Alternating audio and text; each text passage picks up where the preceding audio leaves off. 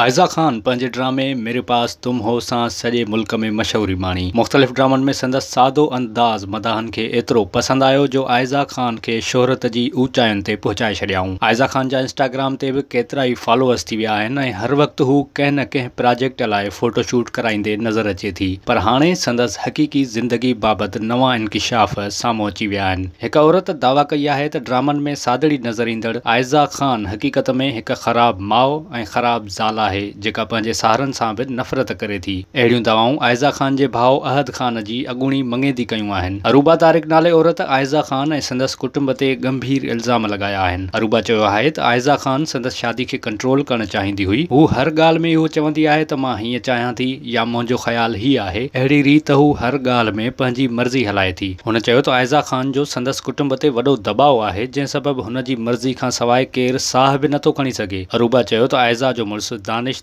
सुठो इंसान आहे ऐं इन्हनि ॻाल्हियुनि सां संदसि को बि वास्तो नाहे अरूबा इल्ज़ाम लॻायो त आइज़ा पंहिंजे मुड़ुस जे कुटुंब सां नफ़रत करे थी ऐं हिकु सुठी माउ बि न आहे जॾहिं त नौकरनि सां संदसि रवियो एतिरो ख़राबु आहे जो मुलाज़िम रुगु टिनि महीननि में नौकिरी छॾे ॾींदा आहिनि अरूबा जी अहिड़ियुनि दवाउनि खां पोइ आइज़ा ख़ान जो हिन महिल ताईं को बि अमल साम्हूं न आयो आहे विज़िट